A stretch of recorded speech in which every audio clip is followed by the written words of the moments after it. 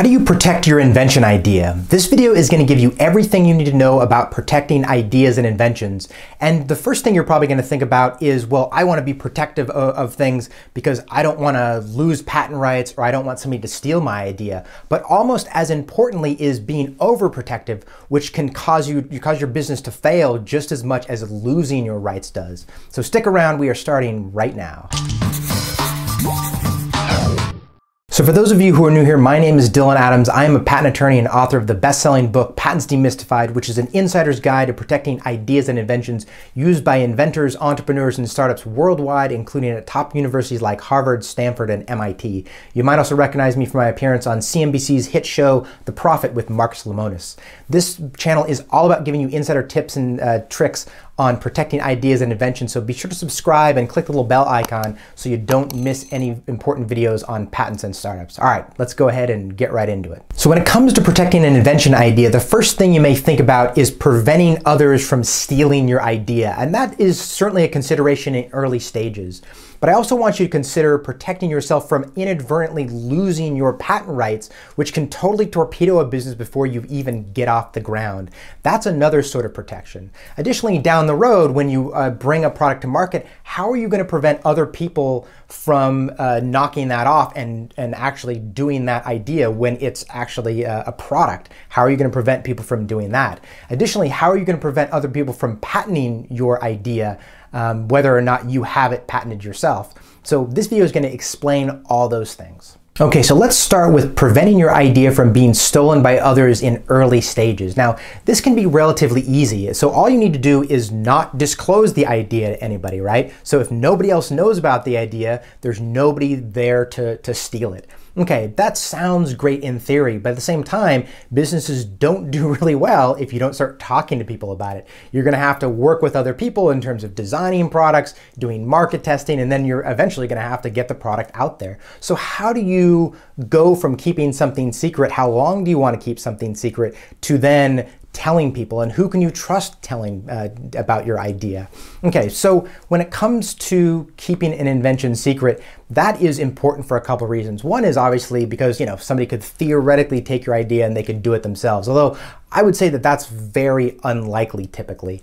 Um, but what's very important though is that patent rights actually start to be lost upon a first public disclosure, public use, or offer for sale. And so if you start doing those things, you may actually inadvertently forfeit really important patent rights that may be important to protecting your idea or invention or uh, attracting investors um, or you know selling the company down the road. So that's probably the more important reason why you don't want to make public disclosures, public uses, or offer for sale of a product because that can forfeit patent rights unknowingly, and then you can totally tor torpedo a business um, before you even get started. You've already forfeited your patent rights. There's no way to get those things back. So when it comes to keeping things secret, I usually suggest that people have an initial period where they keep things as secretive as possible. And that doesn't mean not to tell anybody.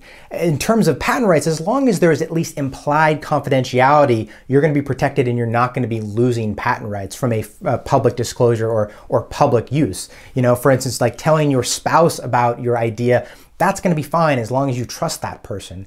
Um, the issue is if you tell other people and they disclose it, that could potentially forfeit patent rights, which is not good, and it allows other people to know about the idea. So, you know, make sure that people understand that this is something that's important to you. They should keep it confidential and potentially have them sign a non-disclosure agreement. A lot of times people are really put off by a non-disclosure agreement, so I would say only use that if it's absolutely necessary.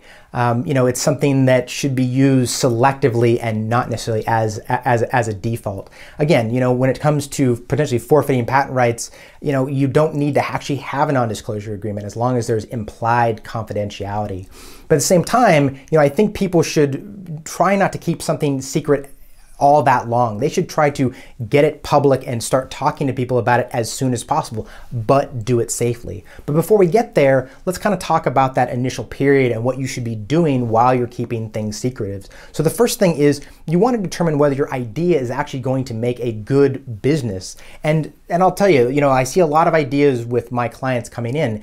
You know, they have interesting and clever ideas, but they do the analysis, they do a market analysis and kind of look at, hey, who are the people who are going to be buying this? What is the market like? How much can I pr- produce this for? How am I going to actually turn this into a product? And they realize that, well, hey, it's a really cool and clever idea, but it's not going to make a good business or product. And you need to figure that out before you start going on to, to earlier steps. And a lot of times you can do this fairly easily inexpensively, if not free, and using resources just like doing uh, Google searches or maybe doing confidential uh, discussions with people. So my suggestion here is, you know, do some uh, search of the market, determine who the customers are, figure out if your idea really is going to be a good business. That's the first thing that you should be doing, and determine, hey, is this something that people really need? Are they really going to buy?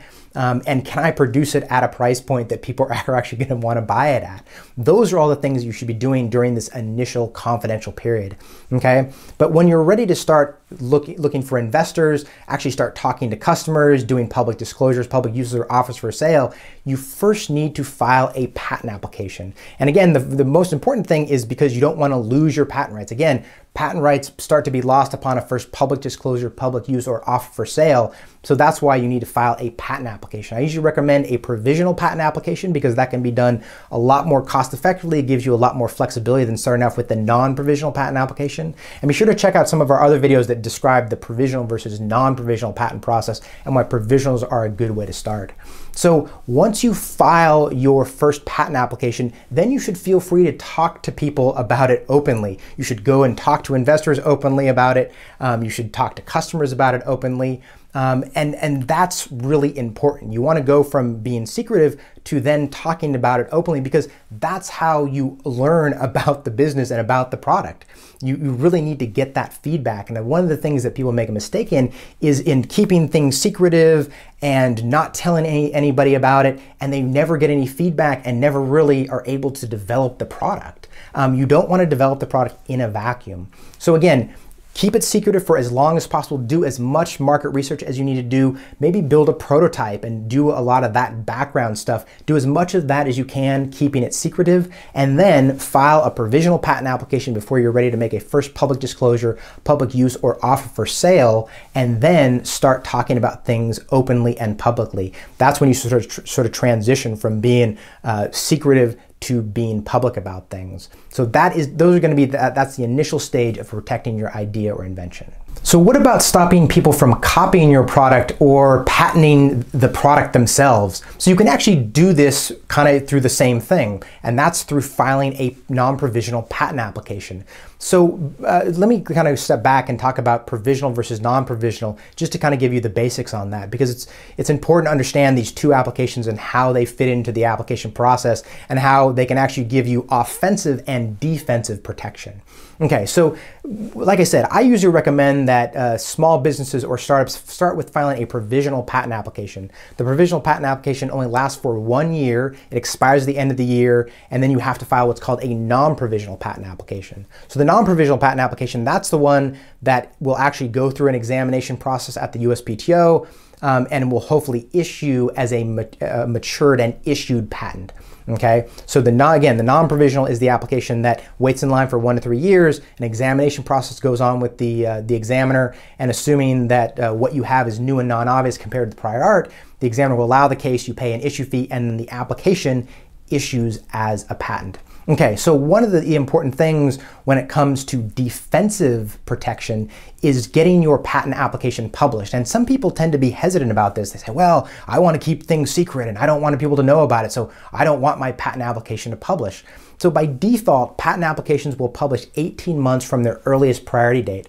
So you file a provisional, you file a non-provisional, and then six months from when you file the non-provisional typically, you know, at the 18 month mark from the provisional, that's when the non-provisional patent application will publish. And this is actually a good thing, okay? One is, you know, having that application out there, that's something that looks really good to investors. It's a deterrent for other people. And yes, it gives you details on what you're doing, but at the same time, you know, people are then hesitant to do those things because they know that there is at least a a, patent application out there on that. So I, I wouldn't be uh, worried about having something published. If anything, there's a lot more benefit to having your patent application published than there is a downside. And one of the most important things is that it actually prevents other people from patenting it. So I talked about the patent examination process where the uh, patent examiner uh, gets your application, they're going to do a prior art search and determine whether what you have is new and non-obvious compared to the prior art. So think about somebody else doing this. So if they were to file a patent application on something that is exactly what you're doing or very similar,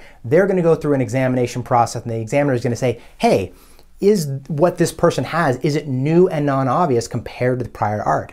So prior art can really be anything. Um, it could be issued patents, it could be patent publications, but it really could be things like your own product that you've been selling. It could be your website that talks about your product. That could be prior art that's used against their patent application that would allow them to not get a patent, or it may make their patent application have to be really, really narrow so that maybe they would get a patent, but it would be something that's very different than what you have.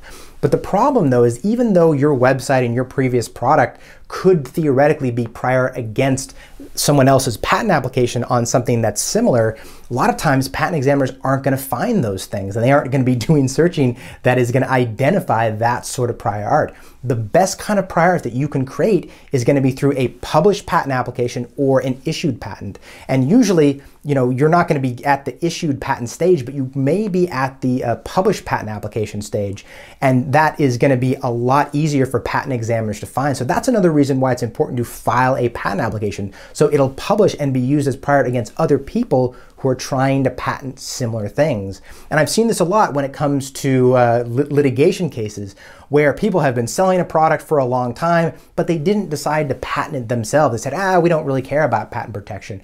But then somebody else, and they, they somebody else goes and patents something that's similar that arguably reads on what they're doing. And even though that other person can say, well, but we were doing this before, um, you know, you know, we, we, we have prior that shows that, you still have to defend against that litigation, which can be expensive. And a lot of times the, the person will say, well, I disagree, I'll see you in court, and they're gonna cost you a lot of money in doing that. The easiest way to prevent issues like that and letting, uh, even though it's invalid, letting, it, letting a patent issue on something that's going to cover your product, even though you did it first, is file a patent application and let that patent application issue. Okay, so that's one of the things that people don't really think about. There's that defensive aspect to filing a patent application. The publication gives you a lot of defense. Um, it also gives you defense in terms of the optics. People seeing it and saying, hey, there's something, uh, maybe they don't understand the difference between a published patent application and an issued patent, and they say, oh, well, this is patented. Um, I don't want to. I don't want to do this. Or maybe they do understand the difference between a pending application and an issued patent, and they say, well, you know, we don't know what's going to issue from this uh, patent, so from this patent application. So you know, maybe let's not do go into this field. Maybe let's not do this and that's a good deterrent as well. So when it comes to offensive protection, patent, pat, issued patents give you the ability to exclude others from making, using, selling, offering to sell, or importing the claim device within the jurisdiction of the patent. So say if it's a US patent, they cannot use, make, sell, import that thing into the United States or in the jurisdiction of the United States it, it, you have to have foreign patents in uh, foreign jurisdictions specifically in order to stop uh, stuff going on in those uh, other jurisdictions. So th that's going to be the offensive uh, protection of patents. And keep in mind that it's an exclusionary right or it's a negative right. You don't actually get the right to do anything. You get the right to exclude other people from doing uh, uh, things. And here's a, a, good example of that. So for instance, you could go get a patent on using a drug to treat cancer. Um, but at the same time, you wouldn't actually necessarily be able to use that drug to treat cancer you're going to need FDA approval. You're going to have to go through, you know, FDA screening and go through clinical trials and things like that in order to actually have authorization to do that you could, yes, still, you could stop other people from making, using, selling, offering to sell whatever sort of uh, product or process you have patented, but you don't get the right to actually do those things. So that is the exclusionary right of patents that gives you protection for your ideas and inventions. So if you got some value out of this video, give it a thumbs up. I'd really appreciate it. And if you want more on uh, protecting ideas and inventions and on startups, sort of the insider stuff that I work with my clients on on a daily basis, be sure to subscribe to the channel and hit that little bell bell icon so you don't miss any important patent videos. And I'd like to know uh, what you think about this in the comments. Do you disagree with stuff? Do you agree with stuff? Have you ever done any of these things? Have you ever accidentally uh, forfeited patent rights unknowingly um, by making public disclosures, public use, or offers for sale? I'd love to hear your comments down below. And yeah, we'll see you again in the next video. Thanks for watching.